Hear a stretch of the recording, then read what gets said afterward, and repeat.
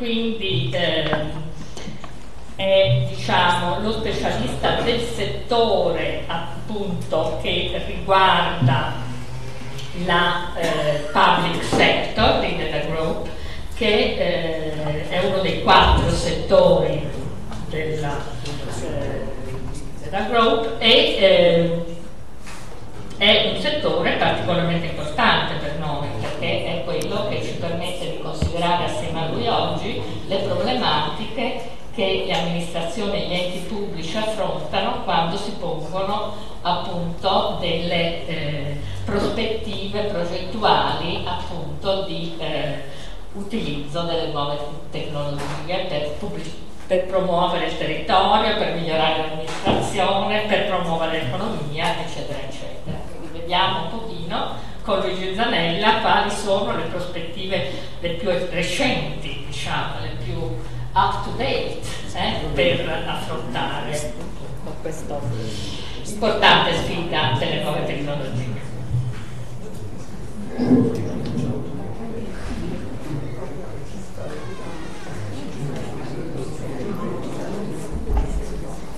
Qua non siamo tecnologicissimi, qualche sforzo.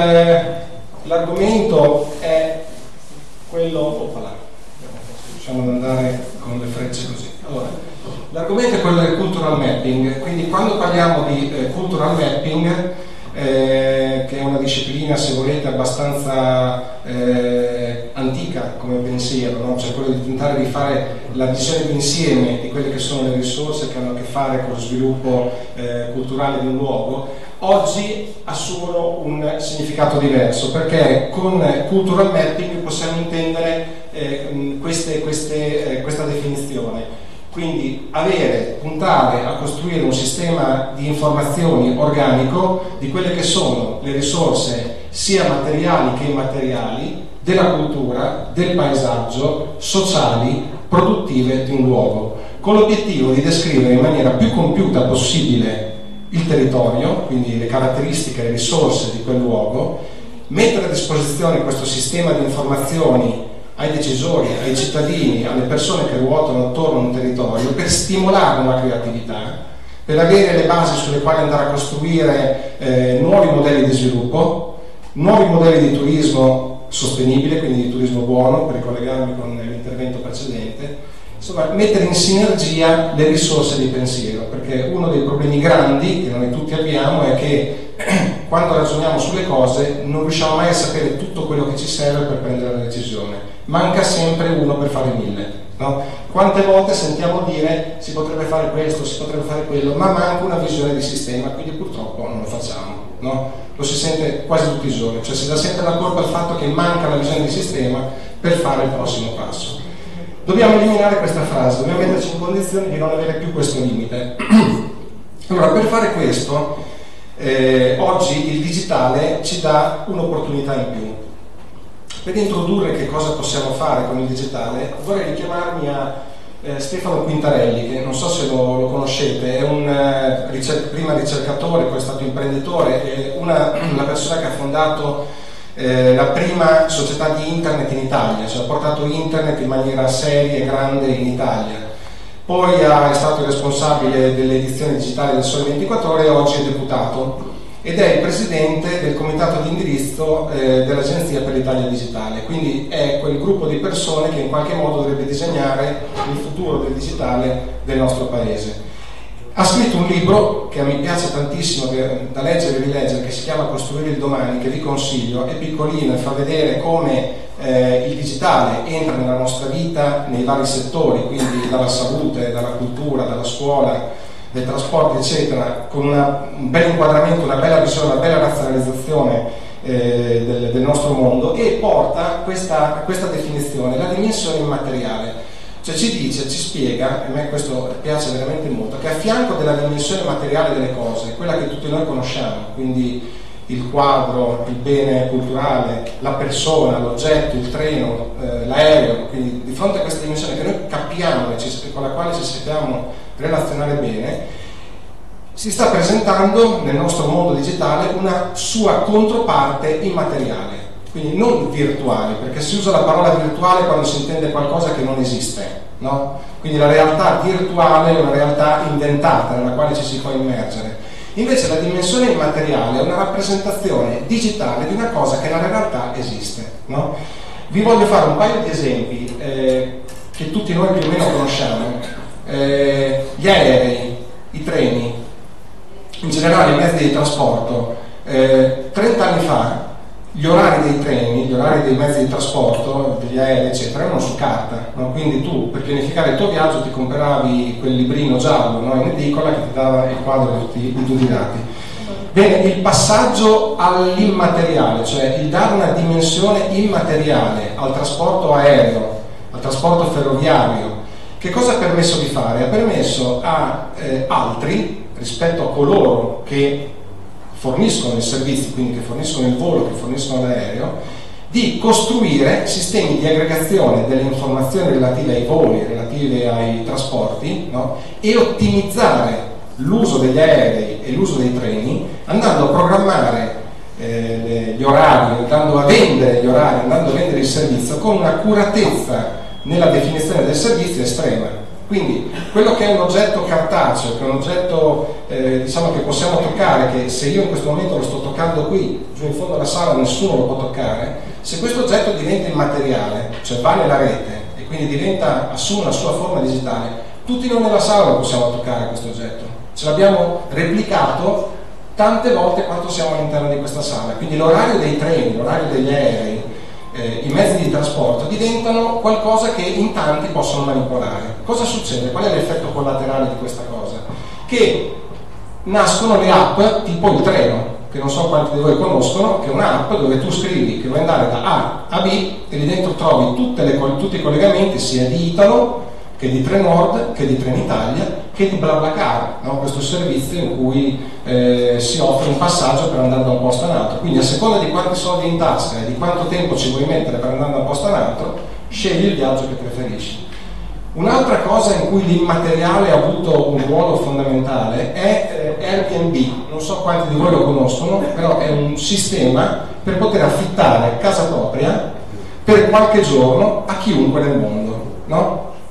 Anche questa è un'iniziativa che nasce sei anni fa, quindi eh, da pochissimo tempo, dentro Airbnb c'è la rappresentazione immateriale di 650.000 camere, no?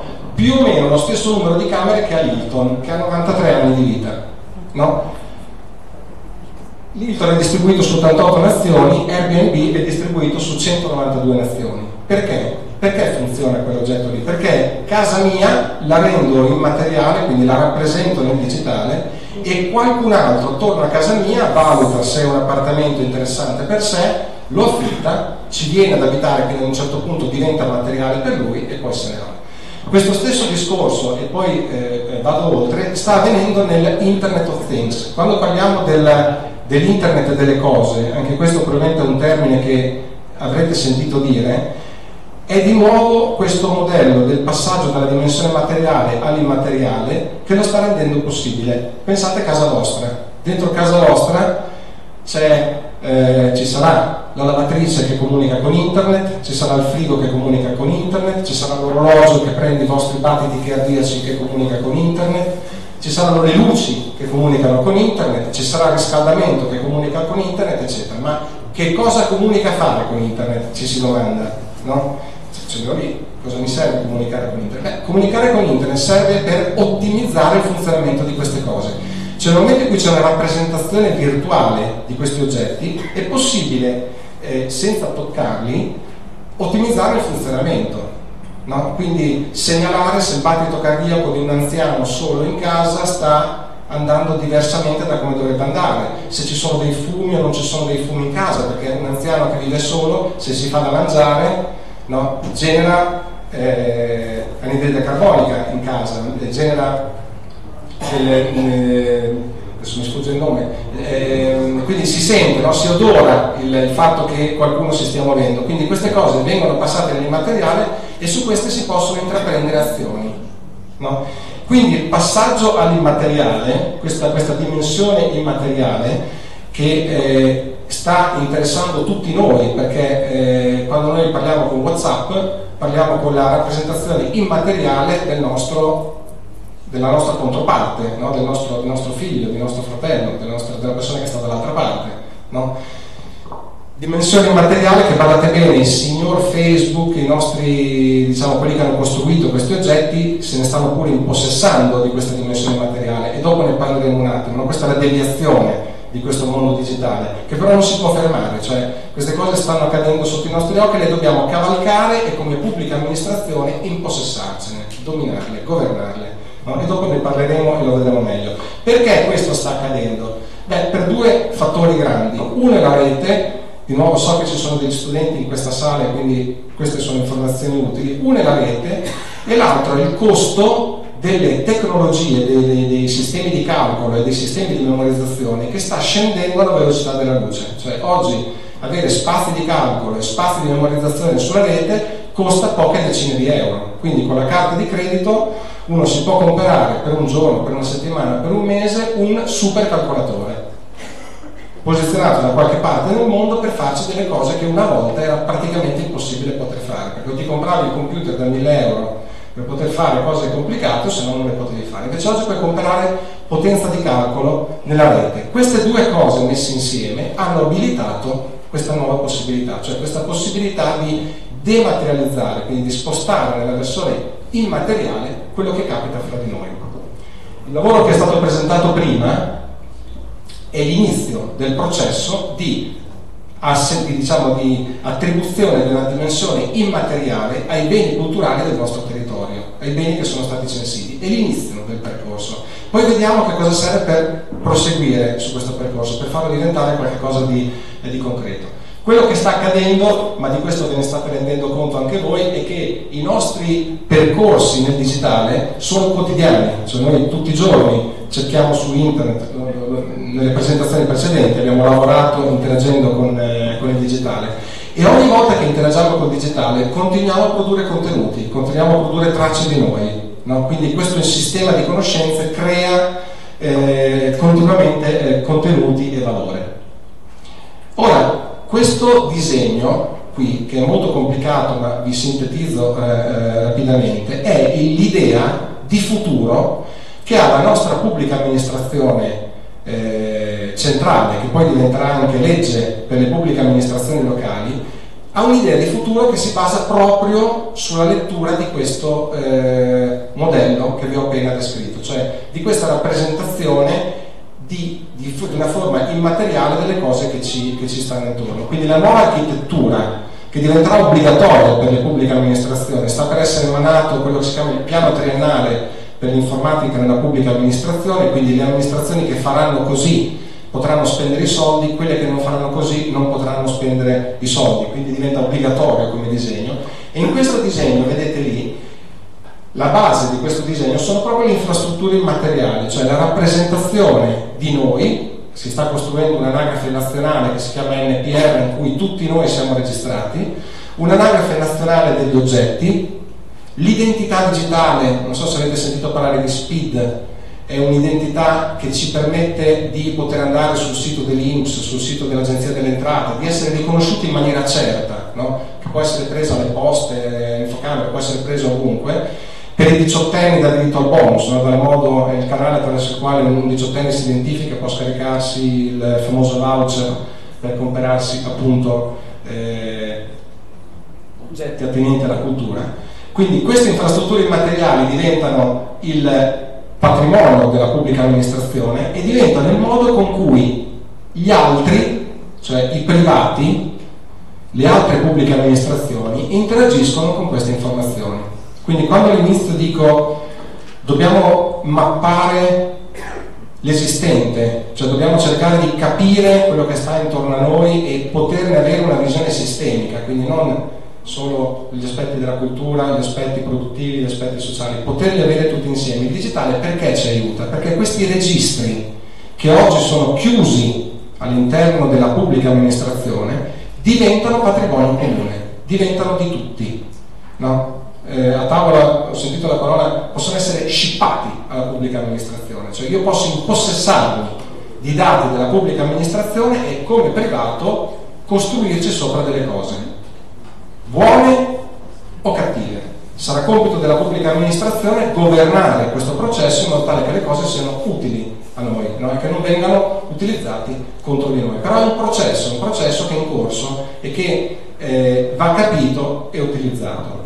Quindi in questo disegno che sta avvenendo, un comune, come il comune che ci ospita, ha dentro le proprie mura un patrimonio di informazioni straordinario.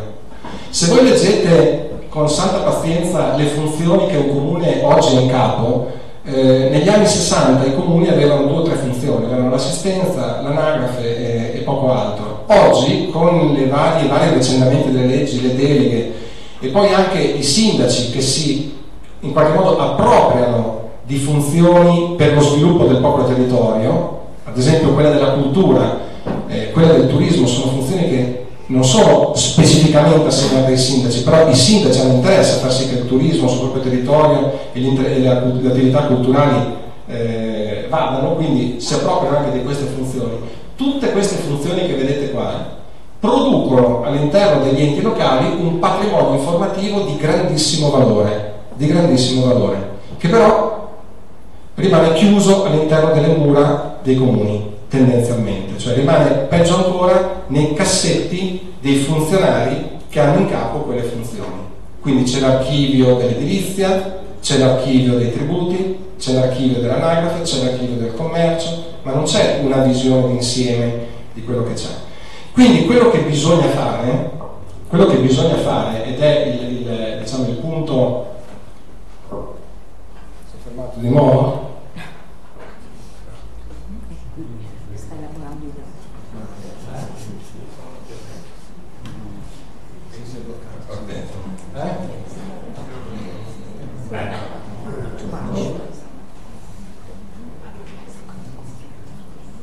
Fermiamoci qua. Quello che bisogna cercare di fare, tanto che lui si, speriamo si stabilizza, eh, è eh, mettere a disposizione di chi ehm, poi vuole fare business, vuole fare iniziative di tipo culturale, eh, le associazioni di volontariato che vogliono imparare da quello che è la realtà del comune, il comune deve mettere a disposizione le proprie informazioni. Le informazioni del comune, prima mi ricollego alla presentazione precedente, sono tutte o quasi tutte correlabili al territorio. Prima avete visto la mappa GIS del, della presentazione precedente dove c'era la particella catastale, c'era la strada, c'era nelle mappe, perché erano mappe antiche, non c'erano i numeri civici, però nelle mappe di oggi ci sono anche i numeri civici, quindi siccome quelle tre cose sono rappresentate nella mappa, su quelle stesse mappe che abbiamo visto prima nella presentazione precedente è possibile rappresentare anche quello che avviene sul territorio. Facendo cosa? Andando a mappare le banche dati che sono presenti all'interno della pubblica amministrazione. Quindi pubblica amministrazione che parte dal comune, ma poi va su su, verso la regione e verso lo Stato. Dopo lo vedremo con un esempio concreto. Ma come funziona il meccanismo di mappatura? Funziona così che se prendiamo ad esempio quell'elenco là in alto, quelle che sono banche dati del comune, tipo l'anagrafe della popolazione, il commercio, le imprese, gli alberghi, i ristoranti, le tasse, sono tutte informazioni che sono riferite a una via o un numero civico che è rappresentabile su una mappa. Quindi quella mappa che vedevamo prima dove erano colorati i toponimi, erano colorati le qualità dei territori, può essere colorata andando a evidenziare dove si trovano tutti gli alberghi oggi, dove si trovano tutti i ristoranti oggi, dove si trovano tutti gli edifici in cui abitano per esempio persone anziane, tutti gli edifici in cui si svolgono determinati tipi di attività e così via. E poi andando su su anche tutti gli edifici nei quali si svolgono attività culturali, nei quali sono collocate opere d'arte e così via. Quindi esistono archivi oggi in cui c'è scritto la via il numero civico in cui si trova un'opera d'arte, per poter mappare quell'opera d'arte questo è il collegamento. Quindi la cartografia, il GIS, è il tessuto connettivo sul quale andare a rappresentare la mappa, la rappresentazione dei beni culturali, del, non solo intesa come beni del patrimonio insomma, di, di, un, di, un, territorio, quindi sia i beni culturali che eh, le caratteristiche eh, del territorio che oggi proprio non, non va.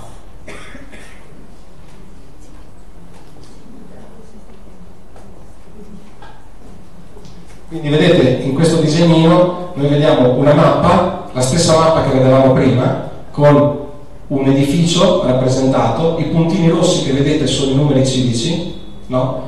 selezionando su quella mappa i numeri civici io posso andare a tirare fuori quali sono i ragazzini che vanno in terza media quest'anno, che abitano in quel posto lì, oppure posso tirare fuori quali sono gli anziani che abitano in quel posto lì, oppure quali opere sono all'interno di quell'edificio. Quindi ho la mappatura puntuale di dove sono le cose.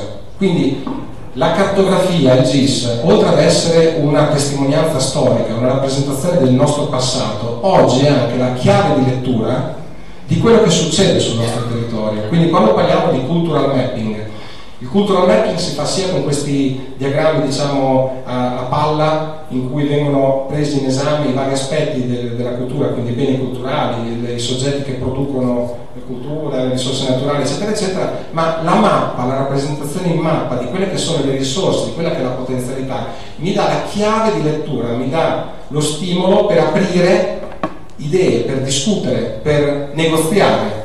Qui c'è una cosa, qui non c'è una cosa, questa cosa è più vicina a quella quindi anche nel decidere dove aprire, dove spostare, dove fare un intervento, dove sviluppare, la mappa è la chiave, è la chiave, perché è quella che mi fa leggere quello che accade sotto.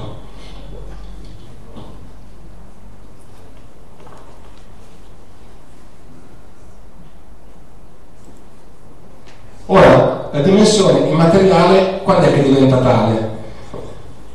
Prima abbiamo visto l'archivio dei beni che sono stati rilevati, i beni sono stati messi su internet, no? quindi questi, queste schede sono state messe su internet. Quando è che quella dimensione immateriale che è stata data ai, ai vostri beni culturali, vostri, eh, quindi questa rappresentazione digitale diventa la dimensione immateriale dei vostri beni?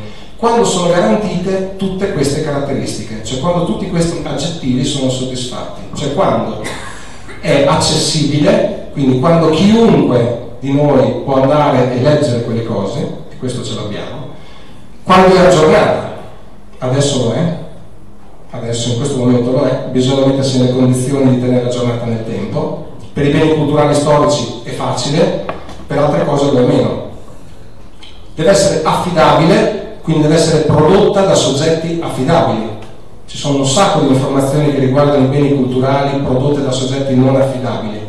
Quindi l'affidabilità, ho visto la firma in fondo alle relazioni. L'affidabilità è fondamentale sull'informazione, deve essere accurata, deve essere comprensibile e l'ultimo punto, che è il più difficile di tutti, deve essere elaborabile, cioè deve essere data la possibilità a terzi di poterci lavorare sopra. E questa è la parte più complicata. È la parte più complicata, è quella che fa diventare gli orari di Trenitalia assieme a quelli di Italo un'applicazione. Quindi è necessario che queste cose che voi avete mostrato fuori possano essere elaborate anche da soggetti che voi oggi non conoscete, devono essere date al mondo, quindi non devono essere mostrate solo al vostro territorio o al mondo attraverso un sito, cioè Iseo Lake è un bellissimo sito, però Iseo rispetto al mondo è piccolo, come fai a scoprire che c'è Iseo? No? Quindi per poter scoprire che esistono dei luoghi, questi luoghi devono essere fatti vedere e abbandonati nel mondo del digitale. Cioè, quindi deve essere dato libero arbitrio a chi si vuole muovere su queste cose perché queste cose entrino all'interno dei meccanismi complessivi della rete. Quindi un esempio, se i dati che eh, la pubblica amministrazione ha, quindi qui di fianco ci sono i dati che i comuni normalmente hanno no, del proprio territorio, venissero messi a disposizione con questa freccia che mostro qua al centro, intendo l'elaborabilità del dato, quindi il fatto che anche altri si possono mettere le mani sopra e possono essere messi assieme a chi eh, pubblicizza il proprio ristorante o il proprio albergo, quindi il mondo delle strutture ricettive, piuttosto che il mondo dei produttori locali, quindi produttori di vino, produttori di olio, che piccolini come sono, magari si stanno affidando, ne parlavamo proprio a tavola, società che gli danno una mano a farsi vedere, quindi e-commerce, a farsi vedere, eccetera se questi soggetti qua si fanno vedere, poi diventa facile, diventa facile per il nostro futuro, gli studenti, le persone che stanno uscendo adesso da scuola, che vogliono cominciare, che sono più bravi a muoversi sulle cose digitali, se loro potessero manovrare queste cose tutte insieme, poi in, ci pensano loro a inventarsi il modo con cui mandare queste robe su Marte, eh, a far vedere queste cose al mondo intero. E magari si arricchiscono anche, magari diventano mh, mm, persone che su questo ci costruiscono la propria, la propria vita. Quindi il nostro dovere, il nostro dovere come pubblica amministrazione è far sì che questo accada. Okay? E non lasciare queste cose nelle mani della Facebook del momento. No? Siccome la pubblica amministrazione tutto questo patrimonio ce l'ha, è suo, quindi lo deve aprire e lo aprirà attraverso i processi che stiamo vedendo, per quell'altro invece serve aiuto, serve guida.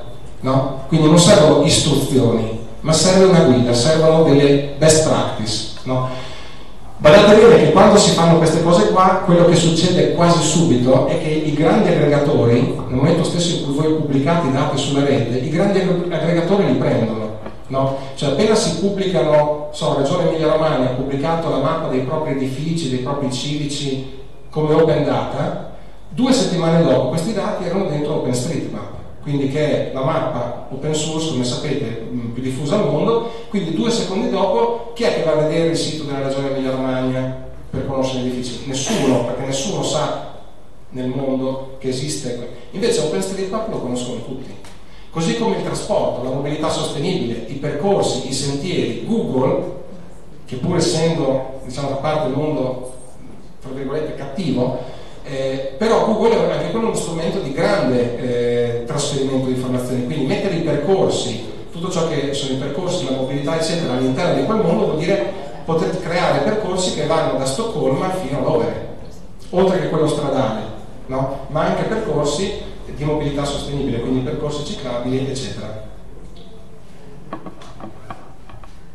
Un altro esempio che mi piace moltissimo citare è quello dell'Unione del Campo San Pierese, che è un'unione di comuni nel Padovano, che basandosi proprio su questo modello ha costruito un modello di misurazione del benessere sul territorio, quindi benessere ecosostenibile, quindi ha messo sotto controllo una serie di fattori sociali, ambientali, culturali, economici e si misura come sta quindi si è creato un modello che si chiama BES di benessere ecosostenibile in cui si confronta anno su anno rispetto agli obiettivi che si, è, che si è dato come sta e come va il benessere sul proprio territorio. Scorro molto rapidamente alcuni esempi di, di buone pratiche, eh, primo fra tutti, ma non per, ma non per eh, ruffianaggio, insomma sono qui in Lombardia, quindi non lo faccio perché sono in Lombardia, ma il sito degli Open Data della regione Lombardia è uno dei siti più importanti e più completi presenti sul territorio italiano dove troviamo tutte le schede eh, dei reperti archeologici, delle opere d'arte, le troviamo, sono all'interno dei file Excel che si possono scaricare, gli manca la elaborabilità, come manca a tutti i siti, cioè io non riesco ancora a prendere la scheda di un quadro, la sua immagine e elaborarla e metterla a confronto per esempio con la scheda di un altro quadro, di un altro luogo dove lo stesso artista in due luoghi diversi ha rappresentato eh, in maniera diversa le stesse cose, quindi sono ancora indietro, cioè mi manca ancora l'ultima riga, non sono elaborabili come sono gli orari dei treni. Passi avanti ne sono stati fatti sul portale Open Data della Regione Lazio, dove oltre al dato aperto ti do anche delle chiavi di lettura, cioè ti faccio capire com'è il contenuto del dato, quindi ti do la mano a comprendere il dato passi ancora avanti la, la tanto bistrattata Roma, che poveretti adesso prima o poi ne usciranno, però a Roma la mobilità, eh, Roma Mobilità rende disponibili i trasporti degli autobus in tempo reale, come open data. No? Quindi, per esempio, non passano, però lo sai. C'è un'app che te lo conferma, non passano, aspetta, spero, non arriverà mai. Però sai che passerà tra mezz'ora e quindi, quindi hai tempo, no? Eh, sempre in Regione Lazio, sempre in Regione Lazio eh, un'altra cosa eh, grande che hanno fatto, bella che hanno fatto, sono le file ai pronti soccorso. No? Cioè quante persone sono in attesa al pronto soccorso disponibile come open data. Quindi io posso accedere a questa informazione sia su un'applicazione presente sul sito che nessuno magari conosce, però alla stessa informazione accedo alle app turistiche più diffuse al mondo dove se io sono a Roma e ho bisogno di andare al pronto soccorso clicco la funzione pronto soccorso e mi dice anche qual è quello che ha meno fila in quel momento ok? Altra pratica è la Regione Sardegna. La Regione Sardegna è un altro territorio che ha fatto grandissimo, un grandissimo lavoro sui beni culturali, sulla conoscenza di sé quindi sulla conoscenza dei beni identitari, no? prima si parlava della, eh, della riconoscibilità di alcuni luoghi, di alcune strade che, sono, che rappresentano l'identità del, del, proprio territorio, addirittura l'ha messo nella normativa del piano paesaggistico che ogni comune prima di intervenire o di fare pianificazione urbanistica deve riconoscere i propri beni identitari, censirli, catalogarli, consegnarli in regione che ne crea una banca dati comune disponibile, disponibile, per tutti perché, per mantenere e salvaguardare l'identità dei territori che eh, Sardegna ovviamente come tutti sapete il turismo, cioè la, la, eh, le visite dall'esterno sono delle fonti di reddito maggiore, quindi il territorio è il bene più prezioso che c'è, la propria identità è il bene più prezioso che c'è e quindi lo salvaguardano. Di nuovo la Sardegna ha fatto un ottimo lavoro sulla elaborabilità del dato, quindi tutti i dati conoscitivi della regione Sardegna, beni culturali, eh, beni archeologici, beni naturali, quindi dalle spiagge ai beni paesaggistici, eccetera, sono accessibili ed elaborabili da chiunque in tutto il mondo. Quindi nell'esempio che vedete qua sotto io mi collego al sito della Regione Sardegna e mi scarico la localizzazione di tutti i siti archeologici e di tutti i beni culturali che sono presenti sulla Regione Sardegna all'interno di un GIS sulla mia scrivania, quindi in locale da me. No? Cioè non me li scarico, non me li copio, mi collego e li posso elaborare mentre sono collegato con questo. La narrazione, l'ultimo, l'ultimo punto, eh, così concludo, è la possibilità, quando si parla di elaborabilità del dato, è poter prendere i beni culturali e farci dei racconti sopra, narrare storie, no? narrare esperienze. I turisti che vengono sul vostro territorio tramite Twitter, Instagram, eccetera, eccetera, narrano quello che gli sta succedendo, cioè raccontano agli altri e anche a voi, perché sono aperte queste cose, quello che gli sta succedendo. Quindi c'è sia la narrazione istituzionale che quella che vedete qui, quindi toccando per esempio laggiù una, un uraghe, no? in quella mappa che vedevamo prima, cliccando in uraghe, poi vado a vedere la narrazione, quindi questa l'ha costruita un esperto, quindi è un racconto di quel luogo fatto col taglio che si diceva prima, quindi sia scientifico che turistico, no? quindi volto a, a, a, divulgare la cosa, ma la sfida vera è quella di raccogliere la narrazione che viene dai turisti, che viene da chi vede il nostro posto e lo racconta agli altri. Perché guardate, è quella che arriva prima di qualunque altra cosa agli altri. Io sono stato in quel posto e mi sono trovato bene ho visto questo luogo, lì mi sono innamorato, ho fatto questa meravigliosa foto, non puoi non vedere questo tramonto. No? Quindi questo, questo, tipo di messaggi hanno un valore fortissimo, molto più grande di qualunque altro messaggio. Quindi qui nasce tutto un nuovo mondo, e parlo per, le, per chi vuole pensare a un proprio futuro in questo campo, il mondo dello story mapping, cioè catturando i Twitter, catturando gli Instagram, costruire storie dei luoghi testimoniate da chi i luoghi li ha visitati. Quindi non le storie ufficiali, ma le storie di chi li ha visitati. Infine, eh, la Biblioteca Vaticana sta facendo un lavoro di digitalizzazione di tutto il proprio patrimonio. Noi abbiamo l'onore all'interno di questo progetto di eh, trattare il flusso di dati che va dalla scansione del manoscritto alla sua conservazione per l'eternità, come dicono là, stanno utilizzando un formato dati che si chiama FIT, che è garantito essere utilizzabile da qui ad almeno 50 anni, che nell'informatica vuol dire infinito, quindi è l'unico luogo al mondo in cui i dati vengono memorizzati in questo modo. C'è un processo di digitalizzazione delle cose favoloso, cioè veramente eh, grande. Quello che vedete qui sono sette eh, pergamene del Botticelli che rappresentano l'opera dantesca conservata alla Biblioteca Vaticana, sono sette di 100, credo le altre sono in, in Germania, conservate in un, in un, museo tedesco, e comunque questi, queste immagini le vedete e le potete consultare così. C'è un difetto però, c'è un difetto, che queste immagini vengono, vengono prese dall'archivio e fatte diventare immateriali, non sono descritte, cioè tutta la conoscenza che c'è all'interno di questi documenti su internet non c'è c'è il documento. Ora si sta lavorando assieme a loro e assieme alla eh, NASA, eh, l'Agenzia Spaziale Europea, eh, l'archivio europeo che si trova a Fiesole di il, diciamo, tutta la memoria storica dell'Europa, si sta lavorando per cercare di preservare la conoscenza, cioè quando uno studioso va su un, un'opera e scopre cose, al di là della pubblicazione che fa, quindi metterlo fra le bibliografie, memorizzare, quindi lavorare in termini di knowledge preservation, memorizzare quello che lui ha guardato, quello che lui ha scoperto, su quale pagina andate a fare che cosa. Quindi fare in modo che oltre alla grande eh, grande problema della conservazione dei nostri documenti per l'eternità, perché il passaggio in digitale significa poter mandare veramente all'infinito con le caratteristiche che dicevamo prima il nostro patrimonio storico, anche di ricordare la nostra conoscenza, il modo in cui noi componiamo conoscenza. Su questo fronte c'è ricerca, noi lavoriamo molto su questo fronte, investiamo molto su questo fronte perché crediamo insomma, che queste siano linee eh, sulle quali andare, anche perché dentro la Biblioteca Vaticana ci sono per esempio i pollini imprigionati nelle fibre dei documenti e i pollini servono per datare i documenti ma anche per sapere cosa c'era a un certo periodo dal punto di vista naturalistico e scientifico. Quindi c'è lì dentro c'è una, una quantità di conoscenza all'interno di questi documenti che deve essere aperta e resa disponibile. Avrei altre pratiche da mostrarvi, ma mi fermo qui perché il mio tempo è mm, più che terminato, quindi sono a disposizione poi per, per domande. Grazie.